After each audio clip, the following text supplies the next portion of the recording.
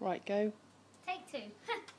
this is my ice bucket uh, challenge. I'm thanks to Hayley Vincent, Emma Hiscox, and Charlotte Davies for my nomination.